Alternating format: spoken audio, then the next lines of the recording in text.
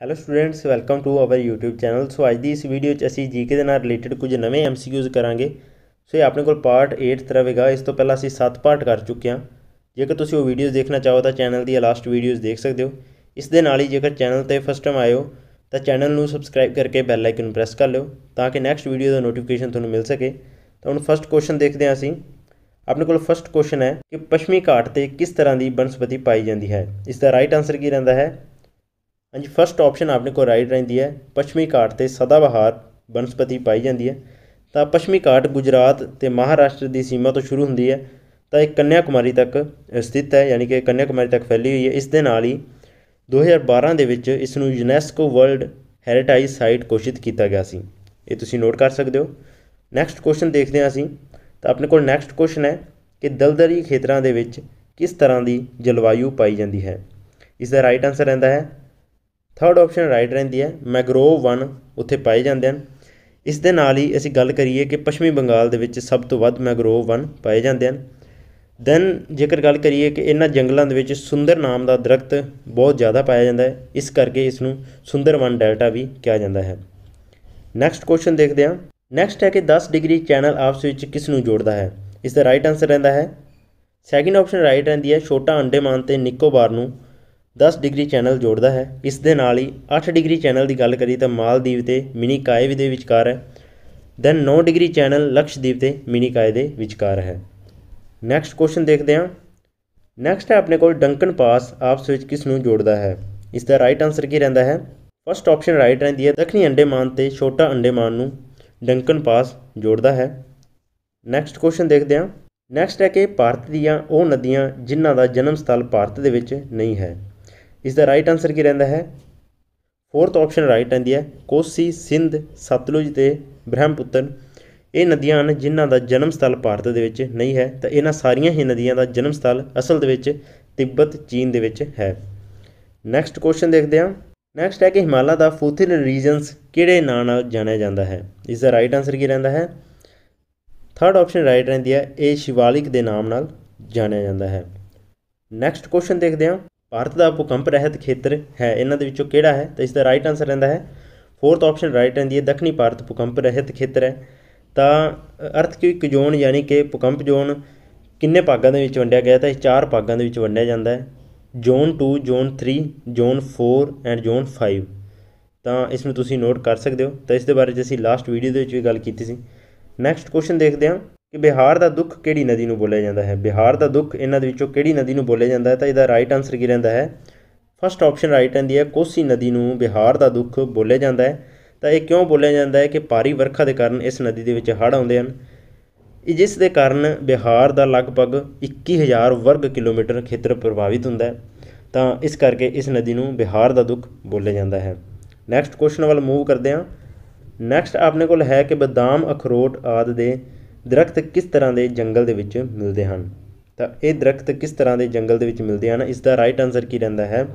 ਇਹ ਪਰਬਤੀ ਜੰਗਲਾਂ ਦੇ ਵਿੱਚ ਮਿਲਦੇ ਹਨ, ਯਾਨੀ ਕਿ ਬਦਾਮ, ਅਖਰੋਟ, ਇਸ ਤਰ੍ਹਾਂ ਦੇ ਜੋ ਦਰਖਤ ਹਨ, ਇਹ ਪਰਬਤੀ ਖੇਤਰਾਂ ਦੇ ਵਿੱਚ ਮਿਲਦੇ ਹਨ।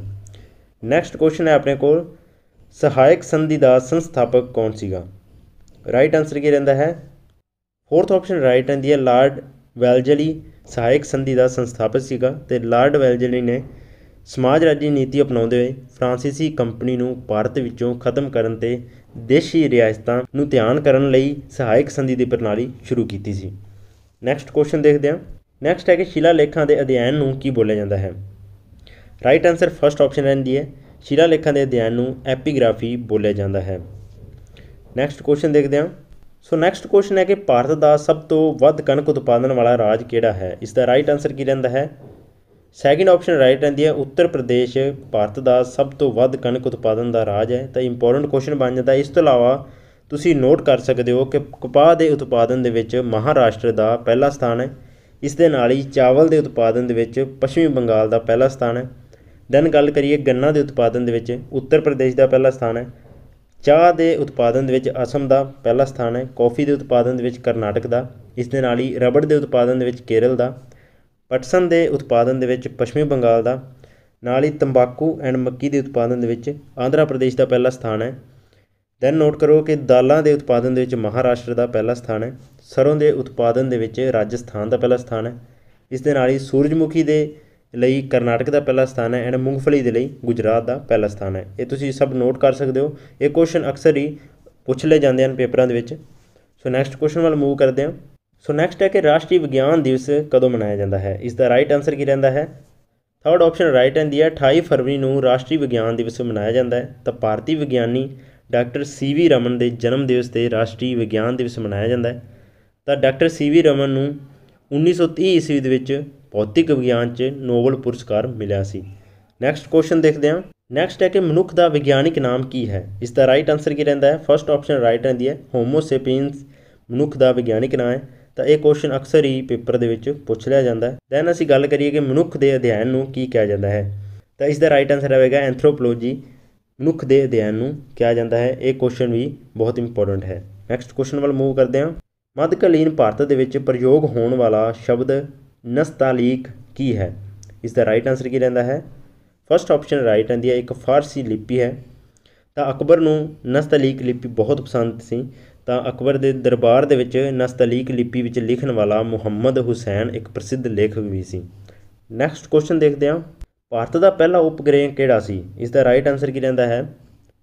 ਫਸਟ ਆਪਸ਼ਨ ਰਾਈਟ ਰਹਿੰਦੀ ਹੈ। ਆਰੀਆਭੱਟ ਭਾਰਤ ਦਾ ਪਹਿਲਾ ਉਪਗ੍ਰਹਿ ਸੀ। ਤਾਂ 19 ਅਪ੍ਰੈਲ 1975 ਈਸਵੀ ਨੂੰ ਰੂਸ ਤੋਂ ਆਰੀਆਭੱਟ ਨਾਮਕ ਭਾਰਤ ਦਾ ਪਹਿਲਾ ਉਪਗ੍ਰਹਿ ਛੱਡਿਆ ਗਿਆ ਸੀ। ਤਾਂ ਇਸ ਦਾ ਨਿਰਮਾਣ ਕਿੰਨੇ ਕੀਤਾ ਸੀ? ਇਸਰੋ ਨੇ। ਤਾਂ ਇਸਰੋ ਦਾ ਮੁੱਖ ਦਫ਼ਤਰ ਕਿੱਥੇ ਬੰਗਲੌਰ ਦੇ ਵਿੱਚ ਹੈ, ਇਸ ਨੂੰ ਨੋਟ ਕਰ ਸਕਦੇ ਹੋ। ਤਾਂ ਇਸਰੋ ਦੀ ਫੁੱਲ ਫਾਰਮ ਬਹੁਤ ਇੰਪੋਰਟੈਂਟ ਹੈ Indian space research organisation next question ਦੇਖਦੇ ਹਾਂ। ਹਾਂਜੀ ਨੈਕਸਟ ਕੁਐਸਚਨ ਹੈ, ਸਾਲ ਸਾਗਵਾਨ ਤੇ ਬਾਂਸ ਦੇ ਰੁੱਖ ਕਿੱਥੇ ਪਾਏ ਜਾਂਦੇ ਹਨ? ਰਾਈਟ ਆਨਸਰ ਕੀ ਰਹਿੰਦਾ ਹੈ?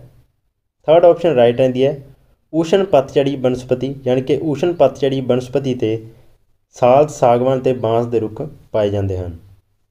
ਨੈਕਸਟ ਕੁਐਸਚਨ ਵੱਲ ਮੂਵ ਕਰਦੇ ਹਾਂ।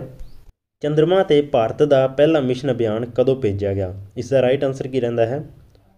ਫਸਟ ਆਪਸ਼ਨ ਰਾਈਟ ਰਹਿੰਦੀ ਹੈ। 2008 ਦੇ ਵਿੱਚ ਚੰਦਰਮਾ ਤੇ ਭਾਰਤ ਦਾ ਪਹਿਲਾ ਮਿਸ਼ਨ ਅਭਿਆਨ ਭੇਜਿਆ ਗਿਆ ਸੀ। ਨੈਕਸਟ ਕੁਐਸਚਨ ਵੱਲ ਮੂਵ ਕਰਦੇ ਹਾਂ। ਨੈਕਸਟ ਹੈ ਕਿ ਮੈਕਮੋਰਨ ਰੇਖਾ ਜੋੜਦੀ ਹੈ। ਇਹਨਾਂ ਦੇ ਵਿੱਚੋਂ ਕਿਸ ਨੂੰ ਜੋੜਦੀ ਹੈ? ਰਾਈਟ ਆਨਸਰ ਕੀ ਰਹਿੰਦਾ ਹੈ? ਭਾਰਤ ਤੇ ਚੀਨ ਨੂੰ ਮੈਕਮੋਹਨ ਰੇਖਾ ਜੋੜਦੀ ਹੈ। ਨੈਕਸਟ ਕੁਐਸਚਨ ਵੱਲ ਮੂਵ ਕਰਦੇ ਹਾਂ। ਹਾਂਜੀ ਯੂਐਨਓ ਡੇ ਕਦੋਂ ਮਨਾਇਆ ਜਾਂਦਾ ਹੈ? ਇਸ ਦਾ ਰਾਈਟ ਆਨਸਰ ਕੀ ਰਹਿੰਦਾ ਹੈ? ਸੈਕਿੰਡ ਆਪਸ਼ਨ ਰਾਈਟ ਰਹਿੰਦੀ ਹੈ 24 ਅਕਤੂਬਰ ਨੂੰ ਯੂਐਨਓ ਡੇ ਮਨਾਇਆ ਜਾਂਦਾ ਹੈ। ਤਾਂ 24 ਅਕਤੂਬਰ 1945 ਨੂੰ ਯੂਐਨਓ ਦਾ ਜਨਮ ਹੋਇਆ, ਯਾਨੀ ਕਿ ਯੂਨਾਈਟਿਡ ਨੇਸ਼ਨਸ ਆਰਗੇਨਾਈਜੇਸ਼ਨ ਯੂਐਨਓ ਦੀ ਫੁੱਲ ਫਾਰਮ ਦੀ ਗੱਲ ਕਰੀਏ ਯੂਨਾਈਟਿਡ ਨੇਸ਼ਨ ਆਰਗੇਨਾਈਜੇਸ਼ਨ ਹੈ। ਸੋ ਇਹ ਸੀ ਕੁਝ ਇੰਪੋਰਟੈਂਟ ਕੁਐਸਚਨ ਜੋ ਕਿ ਪੇਪਰਾਂ ਦੇ ਵਿੱਚ ਅਕਸਰ ਹੀ ਪੁੱਛ ਲਏ ਜਾਂਦੇ ਹਨ। ਤਾਂ ਇਹ ਜੀਕੇ ਦੇ ਬਹੁਤ ਇੰਪੋਰਟੈਂਟ ਕੁਐਸਚਨ ਹਨ।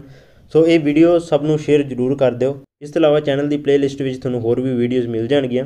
ਸੋ ਚੈਨਲ ਨੂੰ ਸਬਸਕ੍ਰਾਈਬ ਜ਼ਰੂਰ ਕਰ ਲਿਓ ਐਂਡ ਮਿਲਦੇ ਹਾਂ ਨੈਕਸਟ ਵੀਡੀਓ 'ਚ ਕੁਝ ਹੋਰ ਨਵੇਂ ਕੁਐਸਚਨਸ ਲੈ ਕੇ। Thank you